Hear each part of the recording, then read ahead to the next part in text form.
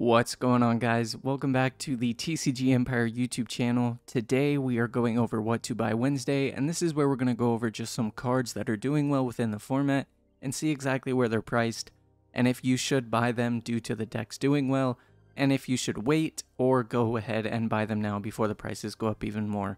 Now this past weekend at the Core TCG Treasure Cup, the winning deck was Red Luffy so if you're looking to pick up some cards for Red Luffy, that's mainly what we're going to talk about today. Uh, Monkey D. Luffy, it's the starter deck leader.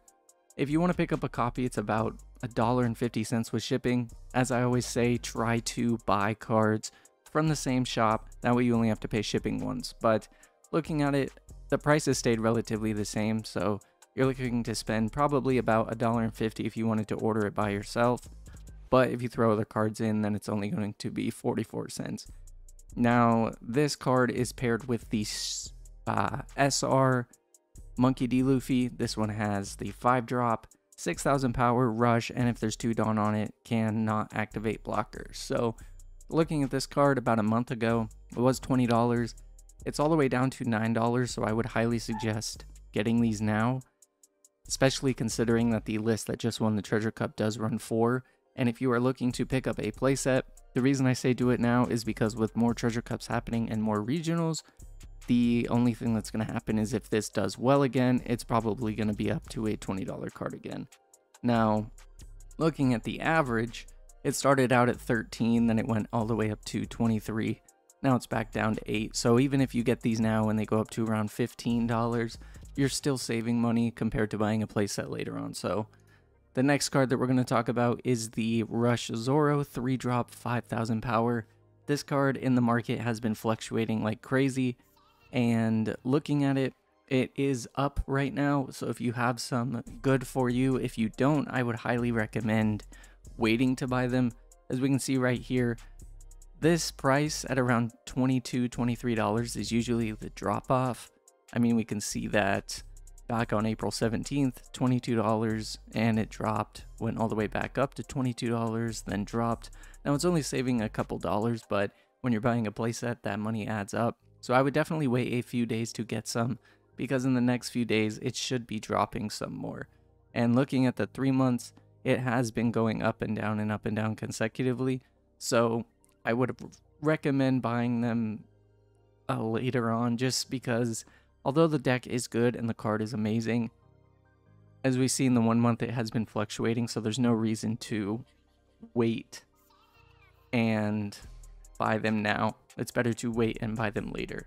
And the next card we're going to look at is Edward Newgate. This card is being played in Whitebeard, as well as being played in things like Zoro, as well as Luffy.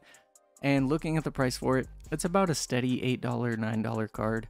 It has gone down quite a bit from what it was a month ago. A month ago, it was $13. Now it's all the way down to 8 Looking at this, it's probably safe to buy them now. I don't see a world in which they keep going up, especially considering with the three month scale, it's doing been doing nothing except going down. So if you're looking to pick up Whitebeards, you can really pick them up at any point, but if you're thinking about buying them now, I would highly recommend it. Next card, Makino. Now this is just a uncommon it's going to be in the under the dollar range. But just looking at it now, um, I would recommend getting your playset now just because with red being dominant in the format, the last thing you want is for this card to go up to a dollar and then you have to pay $4 for a playset as opposed to around $3 for a playset. Now, again, it is only a dollar, but when you're trying to buy cards and multiple of them, some areas is better to save money. So if you're wanting to pick up Makinos, definitely I would do it now. As far as Masked Deuce, Masked Deuce was ran as a 4 of in the past weekend for the Luffy winning deck, and the price did have a high skyrocket. Now, quote unquote, skyrocket.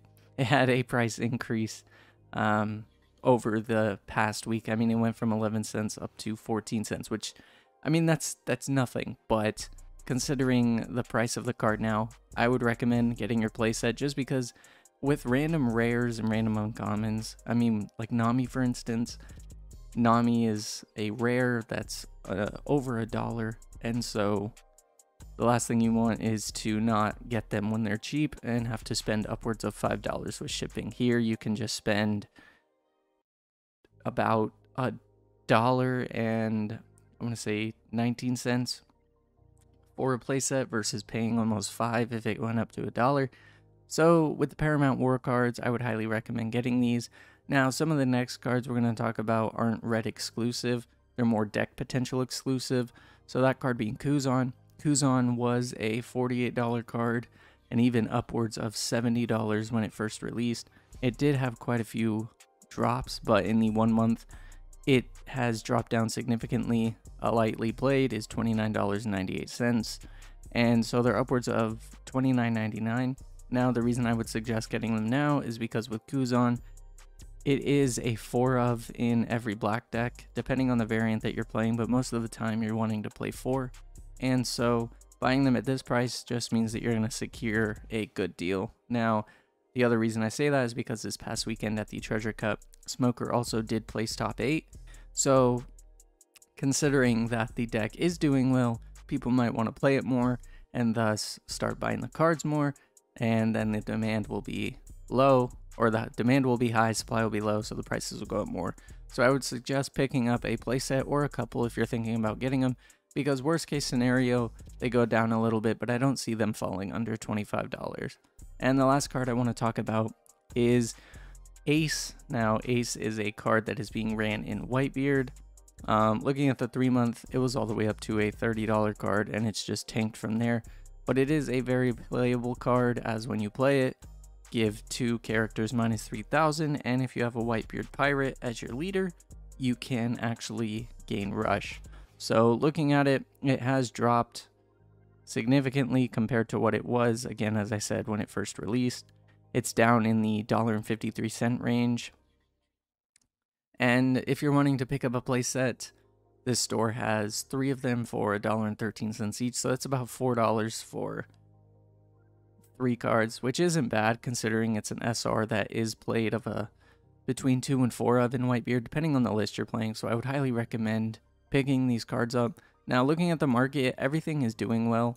There's nothing that's really too expensive, except for Zoro. Zoro is fluctuating up and down, but Zoro is played in almost every deck that runs a red engine besides the Whitebeard list. It's played in Law, it's played in Zoro, and it's played in Luffy. So, being in those decks, it's going to be more demanded. So, looking at this, I would recommend, you know, taking a look, figuring out what you can budget, but when it comes down to it, the market isn't that bad right now. So if you're looking to pick up cards for decks, especially with tournaments coming up, it's probably better to buy them before the tournament rather than after, just so that way you don't have to deal with price spikes from the decks doing well and people wanting to buy the cards for the particular deck. So Thank you guys so much for watching today's video. Remember, if you did enjoy it, subscribe, turn on post notifications. Again, every Wednesday we'll be going over the particular deck of the week's cards and talking about them, as well as looking at some other cards from Paramount War. And so when the next set comes out, we'll do the same exact thing. But overall, again, thank you for watching today's video. I hope you guys did enjoy, and I'll catch you guys tomorrow.